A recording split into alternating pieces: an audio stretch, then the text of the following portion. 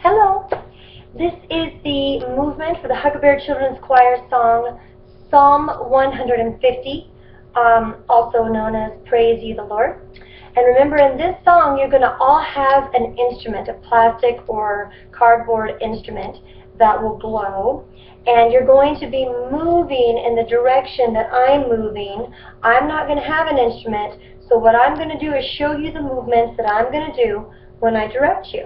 And if you have a violin, you'll be moving in that direction, okay, or a harp, or a tambourine, or cymbals, whatever it is, trumpet that you play, you're going to be moving in that direction. So in the beginning, it's going to start off and it's going to say, uh, well, the music is just going to be kind of introduction, okay? And then it's going to do Praise ye the Lord. Now, in the Praise ye the Lord in this beginning part, you're going to be playing your instrument. Whatever it is that you do, you're going to play your instrument, okay? I'm just going to clap my hands. So that way you know you'll be playing the instrument. So we go, Praise ye the Lord. Praise ye the Lord. Praise God in his sanctuary. Praise him in his mighty heaven. Praise ye the Lord. Praise ye the Lord.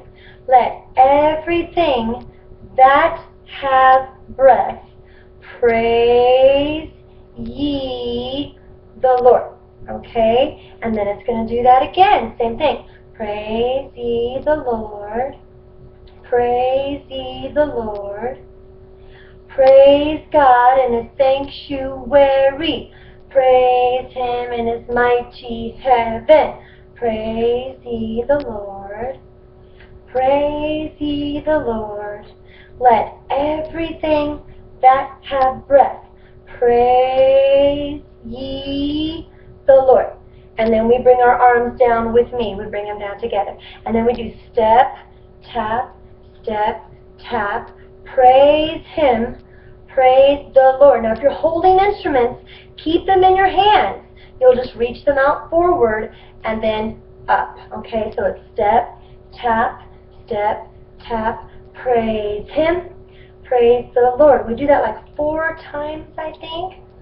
Tap, praise Him, praise the Lord, step, tap, step, tap, praise Him, praise the Lord, and then we come down together and it goes back to praise ye the Lord, okay?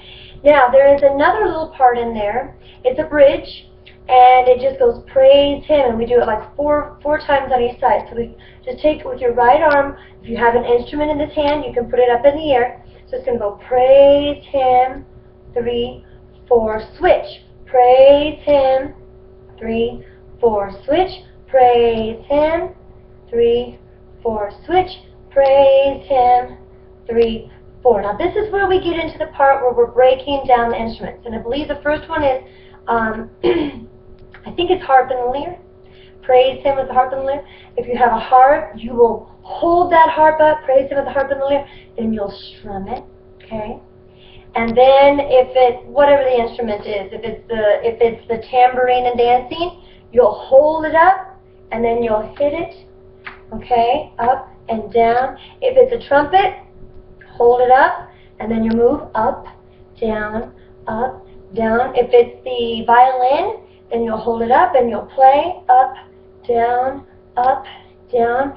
And if it's a cymbals, then you'll hold them up and then you crash them. And of course, that's at the end. They do that over again. You crash them on the beat. And then it goes back to the praise ye the Lord. Okay?